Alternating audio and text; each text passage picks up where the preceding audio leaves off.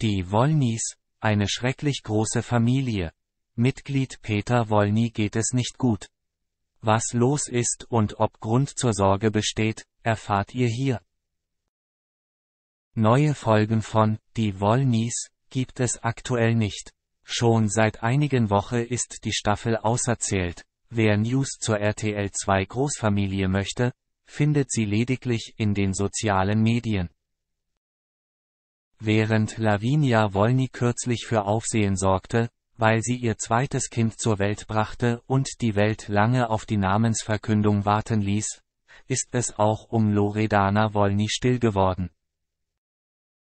Gut also, dass wenigstens auf Sarafina Wolny und ihren Peter Verlass ist. In den letzten Tagen meldete sich die 27-Jährige vermehrt mit Updates, zeigte beispielsweise, wie viel Spaß ihre Zwillinge Emory und Kasai bei Estefanias letztem Auftritt hatten. Auf der Bühne tanzten die Zwerge zur Performance ihrer Tante. Die Wollnys. Peter Wollny ist krank, doch für seine Familie will er sich zusammenreißen. Am Freitagnachmittag meldete sich auch Peter Wollny mit Neuigkeiten. Achtung, Männerschnupfen. Peter Wollny hat sich nämlich, vorerst, beunruhigend klingenden Worten bei seinen Fans gemeldet. Auf Instagram schnieft der 30-Jährige in die Kamera, spricht mit unglücklicher Miene zu seinen Fans. Ich habe wieder irgendwelche Probleme, so der zweifache Vater. Oder was heißt, wieder? Ich hab immer noch diese Probleme, dass meine Nase zu ist, dann läuft sie, dann ist sie zu. Aber ist ja auch egal.